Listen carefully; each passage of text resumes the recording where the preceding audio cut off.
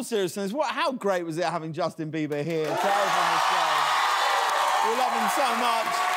We really do.